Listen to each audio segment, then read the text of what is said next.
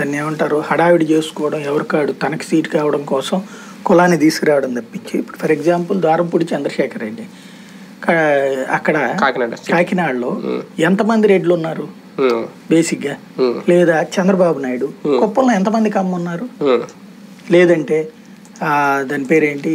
మన లోకేష్ పోటీ చేస్తున్నారు. మంగళగిరి. మంగళగిరిలో. ఎంతమంది కమ్మున్నారు? అసలు అక్కడ అసలు ఉండరు చాలా తక్కువ. ఎట్లాగ ఇస్తారు అసలు?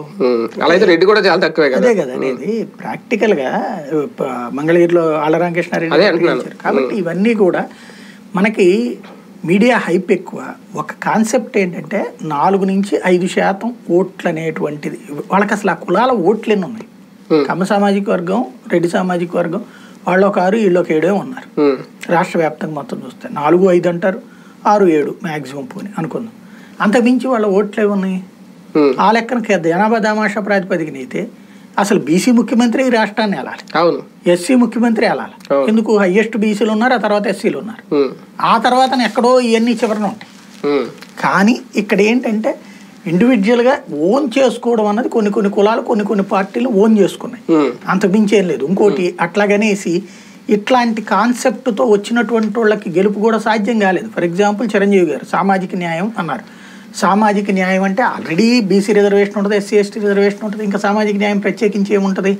అంటే రాజ్యాధికారంలో సామాజిక న్యాయం అనేటువంటి అంశం తీసుకుని వచ్చారు ఆ రోజున్న రెండు వందల తొంభై నాలుగు సీట్లలో వంద సీట్లు బీసీలకు ఇచ్చారు. ఫస్ట్ టైం ఆంధ్రప్రదేశ్ చరిత్రలో. మరి బీసీలు ఆయన నెత్తిన పెట్టుకోలేదే?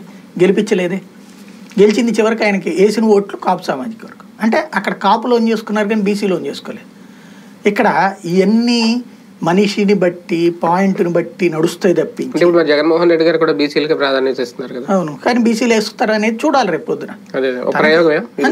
ఈయన తెగిస్తున్నాడు ఇప్పుడు. బీసీలు ఓన్ చేసుకుంటలేదు. అప్పుడు ఓన్ చేసుకోలేదు.